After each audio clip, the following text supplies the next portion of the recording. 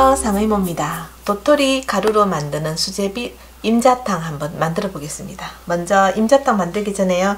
아, 육수부터 좀 만들어 놔야 되는데요. 저는 물에다가 이렇게 다시마를 이런 식으로 손바닥만한 거를 두 장을 넣었더니 이렇게 불려졌거든요. 조금 미리 좀 불려놨는데 이걸 불을 약한 불에서 한 10분에서 한 15분 정도 푹 끓여서 육수부터 좀 먼저 내놓고 수제비를 만들어 보겠습니다 임자탕이 생각보다 의외로 좀 간단하거든요. 도토리 가루와 밀가루를 이렇게 반반 섞어서 수제비를 만드시면 돼요. 그리고 국물에 넣고 들깨가루 넣고 그리고 깨가루 좀 넣고 하면 되거든요. 도토리 가루거든요. 시판하는 거고요. 자, 밀가루 지금 요 정도죠. 여기다가 도토리 가루와 밀가루를 섞어서요. 하나 반 만들면 돼요. 섞어서 하나 만들었죠? 자, 이렇게 도토리 가루 한 반 정도. 이렇게 한 컵 반 하면 넉넉하게 한 1인분 나오거든요. 소금은 한 요 정도. 하나 둘셋한 네 꼬집 정도 됩니다. 반 컵으로 시작하겠습니다. 우선 아까 소금 넣었던 자리에 소금이 있던 자리에요. 자, 소금을 먼저 이렇게 녹여준 다음에요. 해보겠습니다. 물 한꺼번에 넣지 마시고 반죽은 봐가면서 하시면 좋아요 다른 거는 안 넣으셔도 됩니다. 물만 넣으시면 돼요. 이 도토리 가루가 전분이잖아요. 이렇게 밀가루랑 섞어만 놔도 이 자체 바로 반죽을 해서 해도요 쫄깃쫄깃하거든요.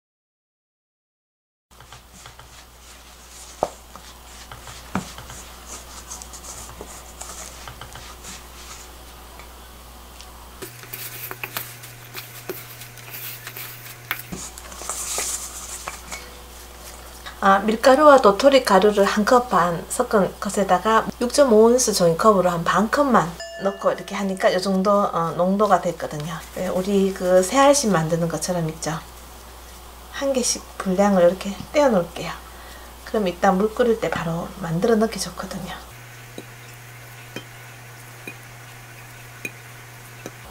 우선 육수가 끓을 동안에는 이렇게 만들어 놓을게요. 조금 더 뿌려놓으면 됩니다. 바닥에다가. 금방 붙을 염려는 없거든요. 도토리 수제비는 이렇게 만들어 놓고요. 이따 바로 펴서 넣을 거고요. 감자 한 개, 중간 거 한 개요. 좀 채 썰을게요.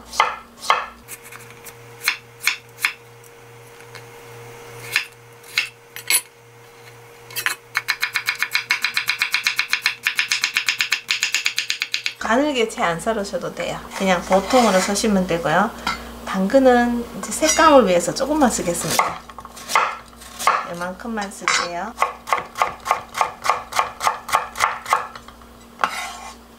아무 버섯이나 괜찮아요. 조금만 있으면 넣고 또 없어도 괜찮습니다.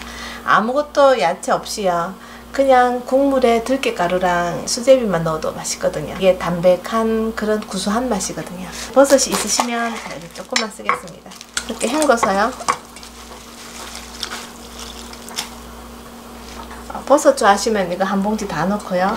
또 안 좋아하시면 조금만 넣으셔도 돼요. 자 이렇게 다시마 육수가 지금 이제 끓고 있는데요.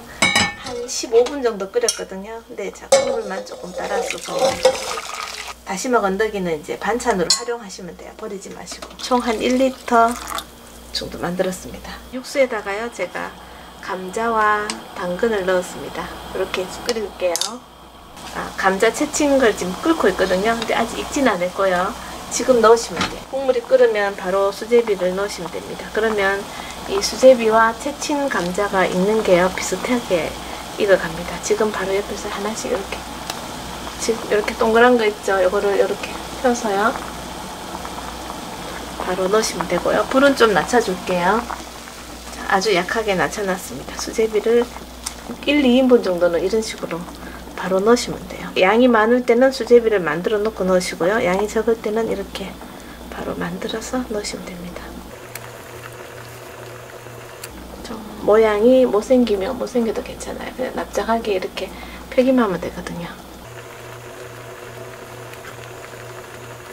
수제비가 위로 둥둥 떠오르면 다 익었습니다. 감자도 채기 때문에 금방 다 익었고요. 여기다가 아까 준비해뒀던 버섯을 마지막에 뭐 표고버섯, 새송이버섯 뭐 다 좋아요. 있는 대로 넣으시면 됩니다.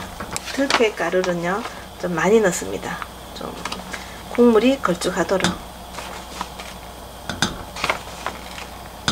한 4스푼 넣습니다. 듬뿍 한 5스푼 넣겠습니다. 걸쭉하게요. 멸치 액젓 있으시면 멸치 액젓 한 스푼 넣고 나머지 소금 하셔도 되고요. 또 저는 참치 액젓이 있어서 참치 액젓을 이렇게 한 스푼 넣고요. 그리고 나머지는 소금을 하겠습니다. 다시마 육수 안 쓰시고 어, 참치 액젓만 두 스푼 쓰셔도 돼요. 맹물에다. 그리고 나머지는 소금으로 간할게요. 이렇게 간하실 때는 좀 짜지 않게 하시면 담백한 맛이 나도록 그렇게 간을 보시면 돼요. 이렇게 담백하게 간을 맞춰 놓으시면 됩니다.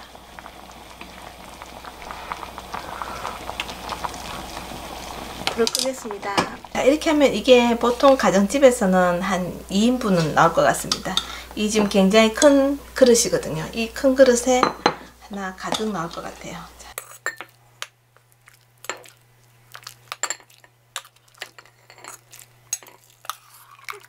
감자탕이 다 됐거든요. 통깨를 제가 믹서기에 갈았는데요.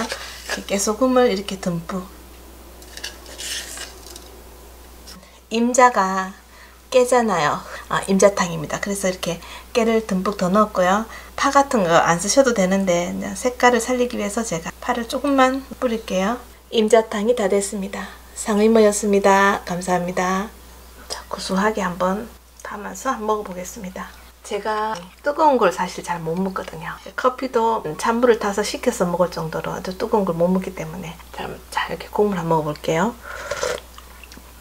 어, 굉장히 고소하고 담백하고 맛있습니다. 이것도 뜨거울 것 같은데.